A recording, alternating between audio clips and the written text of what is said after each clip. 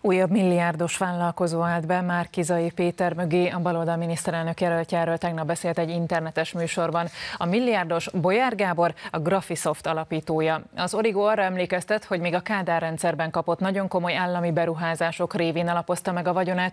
A portál úgy fogalmaz Bolyár Gáborról, hogy a milliárdos az elmúlt években komoly összegekkel támogatta a magyarországi radikális baloldalt meg tudom nevezni Bolyár Gábort. Újabb gazdag támogatóját nevezte meg Márkizai Péter a Partizán című műsor vasárnapi adásában.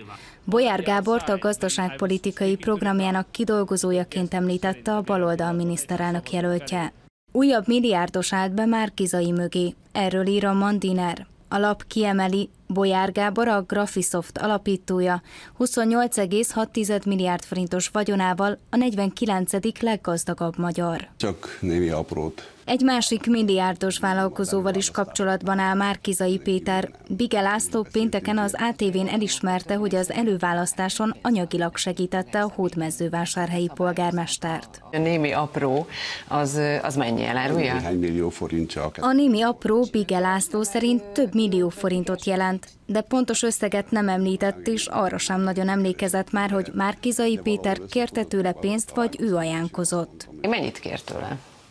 Még nem gondolkodtam ebben, de nagyon örülök neki, és természetesen minden támogatásra szükségünk van. A baloldal miniszterelnök jelöltje azt mondta, bárki támogatását elfogadja, de szerinte fel sem merülhet, hogy az illető a későbbiekben cserébe kér valamit, például egy nyertes közbeszerzést.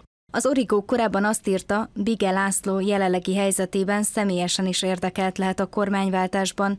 Az ellene hűtlenkezelés vágyával indult eljárásban ugyanis jövőre kezdődhet meg a bírósági tárgyalás. Az üzleti körök nem szoktak csak úgy milliókat adni politikai kampányokra, cserébe komoly elvárásokat támasztanak. Erről beszélt a Nézőpont Intézet elemzője a Kossuth Rádióban.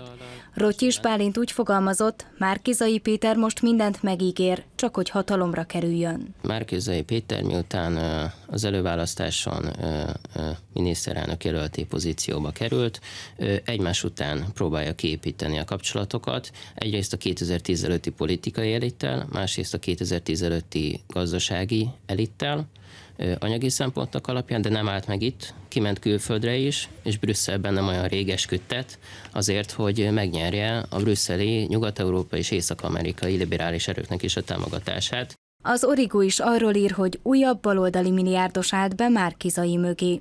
A portál szerint az új támogató Bolyár Gábor a kommunista rendszerben kapott nagyon komoly állami beruházások révén alapozta meg milliárdos vagyonát. A portál szerint kezdetben Juhász Péter támogatta, még Nicai nyaralójában is üdültette.